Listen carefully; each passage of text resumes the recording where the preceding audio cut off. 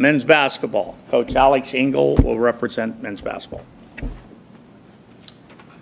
So uh, I'm here to introduce Mohamed Ali Ben Ammar. Um, this is a special player for me because I've only been a coach here for two years, and he's the first player that I've worked with um, for both years that is moving on to the next level.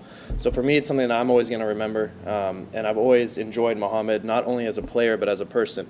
Uh, he makes it easy for me to coach him. Um, he's fun to be around. You know, he keeps the teammates, all you guys have jokes and laugh with him. You know, he makes everything fun, lighthearted. He's just a good person overall. And on the court, um, he really showed the potential that he had. I remember the first day I was here, uh, Coach Blair told me, go take that big guy over there, take him over to the end and work him out and see if he's any good. And I went down and we did some drills, right hand, left hand, all these different drills, and I came back with a grin on my face and said, yeah, he can play. He's a pretty good player. And uh, I always remember that first day when I met Mohamed. Um, you know, his first year here, he was a, a big athletic player, and his only, his only problem was a little bit of foul trouble, right, Mo? And his second year, he learned how to play.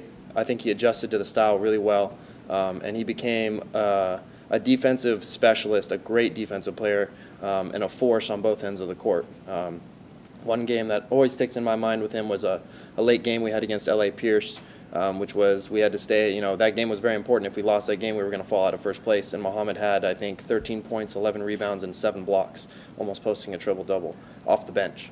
Um, so that, you know that's something that always stuck in my mind with him. Um, and uh, the school he's going to, Winona State, is a top-level Division two. Um, they've won multiple national titles at the Division two level, uh, and I think Mohamed will do very well there. And I'm very proud of him, and uh, I wish him the best on his journey. So, Mohamed Ali Ben Ammar.